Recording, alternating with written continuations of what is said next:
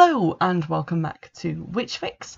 I'm going to be talking today about a book that I said I was going to review quite a while ago and then didn't get around to for the longest time, mainly because the book is part of a set of three and I had tremendous trouble finding the third part for a reasonable amount of money, which here means not 15 fucking quid. So I wanted to review them and be able to read them sort of end to end so I wouldn't forget what was happening in between. Uh, but yeah, it took me ages and now I've got the third one on order, so it's a miracle. The book series I'm talking about is the Merlin books, and these, if you'll remember way back to when I reviewed the Merlin TV serial with Sam Neill. Uh, I said that that series had now been novelized, so that like I think it was three episodes in that mini series had been turned into three novels by James Mallory, and I'd previously read two of them, and I talked a little bit in that episode about that they had more stuff in than was in the TV series because I guess he just made some extra stuff up to fill in some of the gaps where there maybe wasn't time in the TV series to show what happened in between times. And they just wanted to get on with the, the actual story. So that is basically what the books are. They are in places a straight up word for word retelling of the miniseries of what happens to Merlin and Nimue and Arthur and Mab, but there is also quite a lot of extra stuff added in to make up some length in the book and to also give a more rounded background to some of the characters that we know from the TV series, but also to invent new characters and bring in different characters and show us different sides of existing ones in response to them. Which I think is quite cool. And if you followed my advice and went away and watched the Merlin miniseries and you really liked it, these books are definitely something to invest in. They're not hugely expensive. The first two I got for about £2 each, and I just found someone who was selling the third one for £2 on eBay. I've actually previously read the first two. Um, the first one I got was actually the middle one, uh, The King's Wizard, and that's sort of the bulk of the middle of the TV series in that book. And I found it, I think, by chance in a charity shop, and I was really excited because I was like, "Oh my god, this this is a book of that film that I really love." And uh, in those days, I wasn't able to buy things online because I was a lot younger, and it took me ages until I ma- managed to find a copy of the first book in the series, which is the one I'll be talking about in this episode, Merlin the Old Magic. Uh, I actually remember not liking Merlin the Old Magic as much as The King's Wizard, which on rereading I can kind of see that because there are some sections that are a bit long and I felt like they could have been maybe a bit shorter. But just to tell you what the old magic is about, it starts from literally um, a point in time, I think, before the actual TV series started. Um, there is a little bit of a montage at the beginning of the TV version, which goes over how King Constant died and how Vortigern became king. That actually hasn't happened yet at the beginning of the book, and it kind of goes through all the things that you see in that montage uh, but as an actual fleshed out plot. So that is actually like the first half of the book is just all of that stuff happening and the events that lead up to Merlin being born. The rest of the book is about Merlin reaching an age where he uses his wizarding talents, which is featured in the film, and him going to the magical world under the hill to learn magic from Mab and Frick. That's also expanded upon greatly, and he meets a wider range of characters from the magical world, and it's explained in more detail about what the magical world actually is. Now, the book comes to an end around the time when Sam Neill actually appears in the TV series as older Merlin, who is the Merlin who sort of carries us through the second act and the third. And he has just been approached by Vortigern's soothsayer, who's been sent to seek him out as part of Mab's plan to force Merlin to use his magic. So, some of the things that are added in this book uh, obviously, we get to see a little bit more of Vortigern and a bit more about how he became king, which, surprise, surprise, was to do a lot with Mab manipulating him into becoming king. There's also a lot more about Avalon, which features more heavily later on, which is where Nimue grows up. It's also where Merlin's mother is because she is a princess and she has been sent there because um, of Vortigern's rule has placed her family in danger. And we learn about the Holy Grail, which was actually at Avalon, and you, there are scenes which have the Holy Grail in it, just kind of floating above an altar, which is quite cool. You find out about how um, the lady who's called Elissa became Merlin's mother and how Mab orchestrated all that. So basically, it's, it's a lot of extra stuff that shows what kind of a person Mab is. And she was kind of one of the most unknowable characters of the TV series, the queen of the old ways. And there's perhaps a lot that we don't know about her. But throughout the book, we actually get to see her in uh, sort of flashbacks that Merlin sees in different realms of the magical world.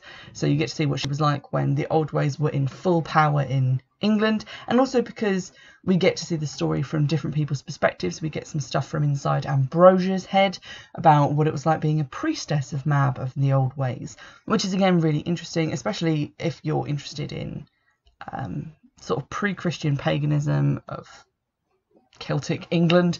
It's really cool and very atmospheric and quite enjoyable to read stuff about that and about um, the kind of hardships that the characters faced even before Vortigern became king, which is basically the official start of the TV series. So, two of the new characters we see are Blaise, who is a hermit who lives in the forest where Ambrosia lives at the start of the TV series.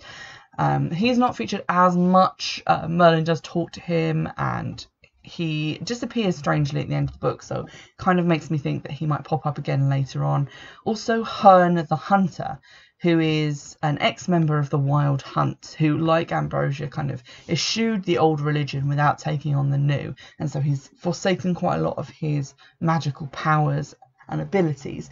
But he is a character who's involved in the plot of the book the plot is basically the same as the TV series, but with extra scenes and extra kind of explanations and bits and pieces to make it a bit more interesting, obviously, if you already know what's going to happen. Uh, another character introduced is Idath. He's the Lord of the Dead who occupies uh, a separate land, which is Anoeth.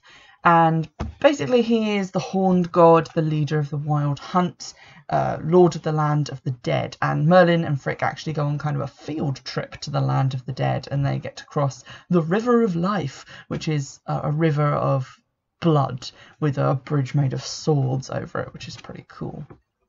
And Merlin gets to ride with the Wild Hunt as well as go into a sort of flashback dimension, I guess, where he gets to see um, some of the sacrifices and things made of the Romans when uh, the Romans were in Britain, which is again pretty cool. Now, I said that this wasn't my favourite out of the two that I've read, and here is why. The book is 333 pages long, and the actual plot that takes place in it probably only took up about 15 to 20 minutes in the actual film slash miniseries.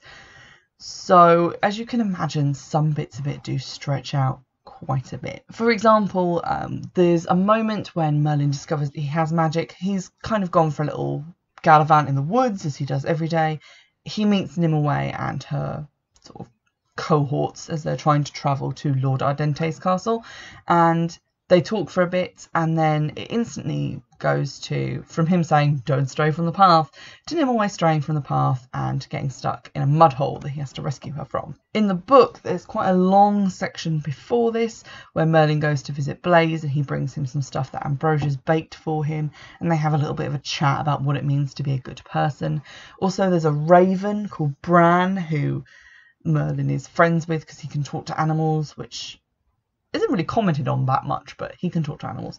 Uh, and they have a little conversation. He walks through the woods and he kind of ruminates on, you know, his feelings and how he feels like he's missing out on something and whether that thing might be love or whether that thing might not be love. And then Herne the Hunter conjures a silver deer for him to chase through the woods and he finds a special fountain and there's other stuff that goes on. And then he meets Nimue and then all the rest of it happens the thing is that it does take quite a long time for all of this stuff to happen, and because Merlin has to have a lot of introspective, thinky thoughtings about the plot and what is happening, a lot of it takes place in his head, and a lot of it is him thinking about things, especially when he gets to the land of magic. A lot of things are rehashed over and over again about how he doesn't really feel like there's any point to him learning magic, how he doesn't really think that it's real enough or good enough. Um, and he thinks those things at least four times and it's just rehashed kind of over and over again. So while this book does have a lot of interesting extra added insights to the Merlin series, it also because I think not a lot of the original plot takes place in the first part of the film, doesn't really have a lot of base material that's very exciting for it to work with, which is a bit of a shame. But the middle book in the series, I remember having a lot more going on because obviously that's the point at which Merlin is more active in the world of men and he's meeting you know, kings and fighting dragons and all the rest of it. One thing that I actually do really like about this is that it fills in some of the gaps and explains some of the things that maybe the movie didn't really think about as much or didn't have time to show. Uh, for example, in the film, Merlin later on has a horse called Sir Rupert who he can talk to, and I don't think it's really explained where that horse comes from or how it talks or how it knows him. And my recollection of the film is a little bit fuzzy at this point, but I feel like it's not really explained that much. It's just a horse that he conjured that can talk. Whereas in this book, it's explained that the horse was given to him by Idath for the wild hunt, and that whenever he needs Sir Rupert, Sir Rupert will be there for him because they have this bond now. And obviously, Merlin's ability to talk to animals is also explained earlier on in the book. It's because of his part fairy nature. And that's quite good, and it kind of fills in some of those blanks, which is excellent. Also, in the film, Merlin is in the land of magic, and the Lady of the Lake appears to tell him that his foster mother Ambrosia is ill and he should go and see her and he instantly leaves the land of magic and goes back to see Ambrosia. But in the film, it just kind of cuts to Mab yelling at Ambrosia for Merlin disappearing, and then Merlin turning up to find Ambrosia dead and him getting pissed off at Mab. And I was always kind of wondered, like, how did he get back? Because in the first instance, he had to like ride a special kind of unicorn horse to the edge of the lake and then get in a magic boat. And then the magic boat took him into the land under the hill. And then Frick piloted it all the way to Mab's palace. And I was like, okay, but how did he get back so quickly? And that's actually explained and delved into into the book about how the Lady of the Lake helps him and how he uses magic as well. So that's pretty cool. And you definitely get more of a sense of what the old ways that they always talk about are like and what they're meant to people and why people are dissatisfied with them and why they're turning towards Christianity. And it definitely looks into the failings of both religions. So, on the one hand, you've got the old ways, which were more about opening up this world of wonder and magic to the people, and they could travel between the world of men and the world of death and the world under the hill, and they had these powers and these abilities, and they lived in harmony with the land. But on the other side of that, they also worshipped gods who could at times be quite cruel and demanding and who had lost the ability to feel empathy or love for their people. And then, and also all the brutal things like the sacrifices of, of blood and of people that those gods demanded. And then on the flip side of that, you've got Christianity, which to Merlin's mother is a religion of love and healing, and she believes that the power of the Grail should be open to everyone, even if they're not Christian, that they should do charity and they should do good things for people. And then you've got the flip side of Christianity, which is King Constant and brother, I think his name's Gilbert, but they believe that the old ways should be stamped out, and if people won't abandon them, then they should be killed because nothing should be able to bring that kind of like dark power into the realm of Christianity and they don't have room in their hearts for anyone who doesn't follow their religion. So I like that balance and the way that the story allows for those sides to be explored more fully in the book than they were in on TV and to kind of give you an idea of like the central conflict really of the whole series is between the old ways and Christianity. It's the reason Merlin exists. So it's kind of important to have that in there. And it's kind of in that vein that I wanted to read you this little bit. It's actually from like really near the end of the book, like four pages before the, the very end. But I thought it would be nice to read this bit and just give you an idea of what the writing style is like, but also about the kind of extra thoughts and emotions that go into it that obviously are really hard to show on screen. As soon as he woke in the morning, he knew his fate would find him that day. Samhain had fallen a few weeks previously, and Merlin had expected the trouble to come then. When it had not, he had let his guard down a little, thinking that in the dark half of the year, when even kings stayed close to their own hearth sides, he would have a certain amount of shelter. But this morning his senses, that had told him even in childhood when strangers trespassed in his beloved forest, told him there was danger afoot. Merlin awaited it calmly. He went about his usual morning routine, preparing his simple breakfast of herbal tea and acorn bread, and then went to the clearing in the forest. Around him a circle of young trees stood like the pillars of a cathedral, a cathedral of the old ways, growing from the living earth, not made of dead stone as the Christians built. As soon as the thought came to him, Merlin pushed it away. To think in terms of the old ways versus the new religion was to fall into the same trap that Queen Mab had, a trap made of hatred and disgust. Merlin chose to walk a third path, neither of black magic nor white light, a path as grey as mist, where everything was judged on its own merits. He would not hate the new religion, neither would he follow the old ways. He would simply be as he had always been, Merlin the wizard. So I kind of picked that bit out to read as I was finishing the book up last night because I think there's been like kind of a resurgence of a lot of the old ideas about Wicca and witchcraft that I saw when I was a teenager.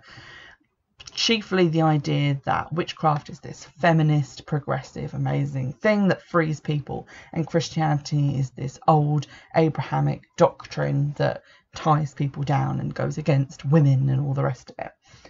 And a lot of people who were perhaps younger who were getting into witchcraft because of you know Instagram and other things that this is where they've discovered witchcraft from they maybe haven't had the time to look at it in a way of seeing that it's not my religion versus your religion or old ideas versus new ideas or my idea is more original and older than yours because paganism was around before Christianity it's not a competition. It's not a, a, movement where you need to just get angry at Christianity and tear it to pieces. Because, in all honesty, as someone who went to a, a lot of church schools in their young life, uh, even after I was um, had converted to Wicca, I still went to church school. I still have a Christian family.